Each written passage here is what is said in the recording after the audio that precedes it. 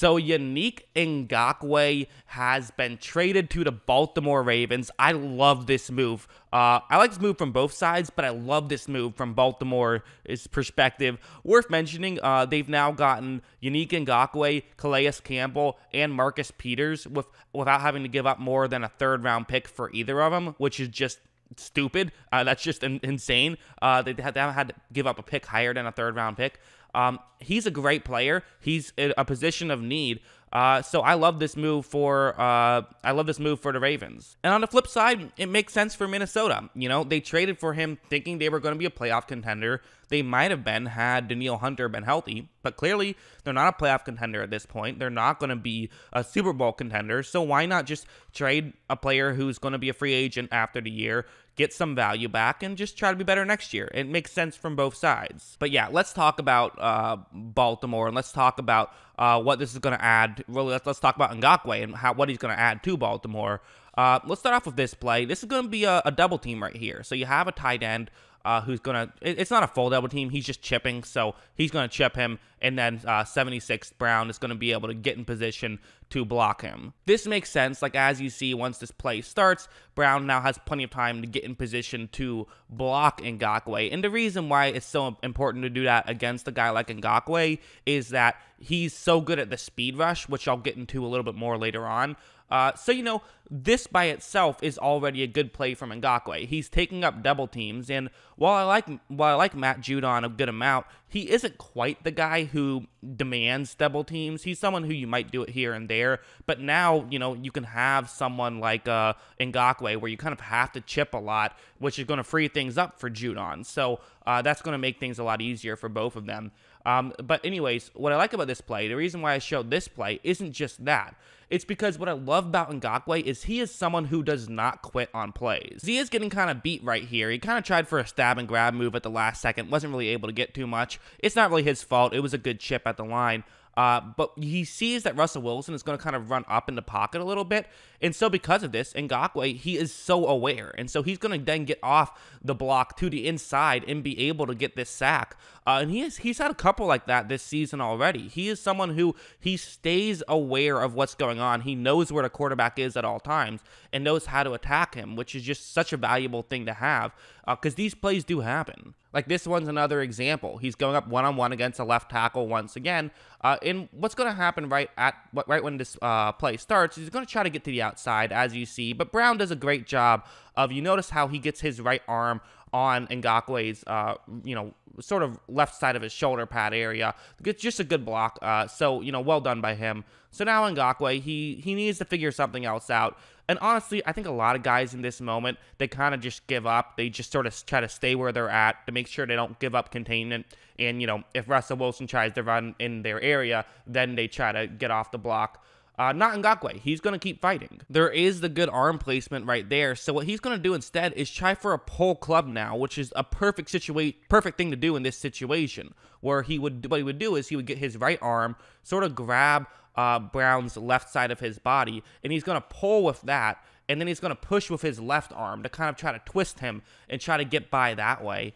And watch how well it works. He's able to grab on and just twist get to the inside, and then he's able to create some pressure for Wilson, who still makes the throw because he's Russell Wilson. But it's still a good play, a good example of showing what he can do. I have to be honest, I think Ngakoue is actually having his best season right now. I think that he, he he's more explosive than I remember him being. Like on this one, uh, it's going to be a running play. He has a one-on-one matchup against a left tackle, so uh, you know, this isn't these aren't typically the plays you show. But what I like about this play is going to be his footwork. What's going to happen is that 70 is going to kind of run out to block Ngakoue. But what Ngakoue is going to do is watch how he's going to sort of fake as though he's going to the outside, but then he's just going to cut right back in, and he gets completely by by him and is able to make a quick tackle on Derrick Henry, which that's not easy to do. So really just a tremendous play by Ngakoue, and he can make those kind of highlight reel level plays. And again, he's more explosive now than I think ever. He's always been quick, but he now has the footwork that I haven't really. I feel like he's.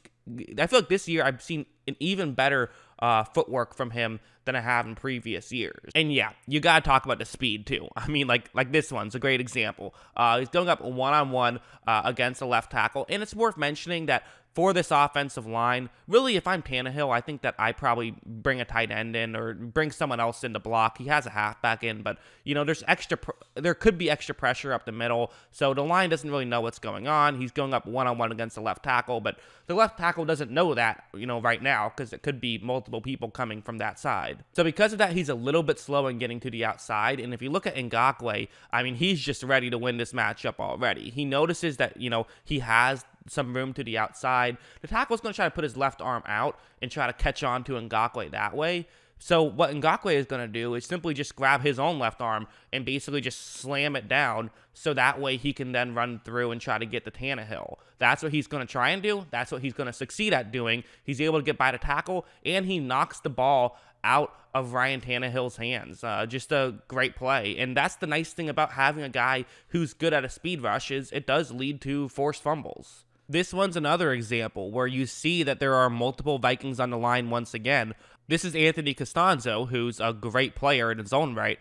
Uh, but what's going to happen is that since there are multiple players who are in his area, you know, there's a linebacker who could also be blitzing, he's going to just be a little bit slow in picking up Ngakoue. It takes him just a little split second after the ball is snapped to pick up Ngakoue. Maybe he even had a different snap count, uh, so that could have been a problem. I don't know.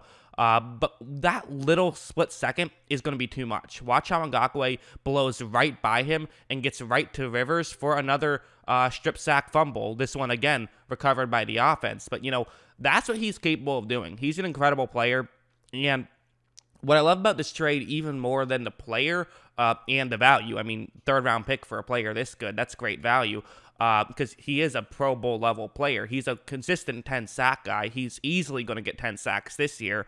Uh, but more than that, what I like about it is that it's the position of need for Baltimore. They really needed an edge rusher. That's kind of the one thing that's really like the one sort of area in their roster that was shaky. And this is a complete football team. It really is. This is a great defense now, and it already was a great defense. And this is a, obviously, you know, the offense last year was historically good. While it hasn't been quite as good this year offensively, I think a lot of that is just they're not really running the ball with Lamar Jackson the way they did. I think it's intentional. They don't want to get him hurt. I think they're okay okay with not having as good of an offense in the regular season. They want to keep him healthy and also sort of get some more reps through the throwing game in case they need it in the playoffs. Uh, so I love this Baltimore team. Uh, I mean, they're right there. They're still a legit Super Bowl contender. They really are. Uh, and this is a huge move uh, that could be the final piece of the puzzle. We'll have to wait and see. What do you guys think of this move? Let me know in the comments below. Always love hearing from you. And of course, as always, thanks for watching.